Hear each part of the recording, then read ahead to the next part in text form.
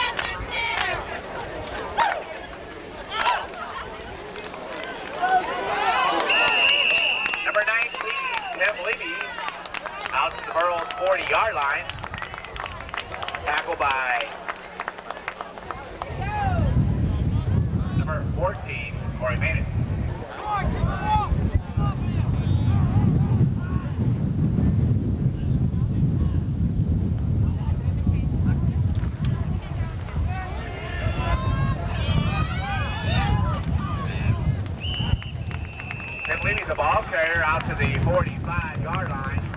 Tackle by 31, Dan Mathis.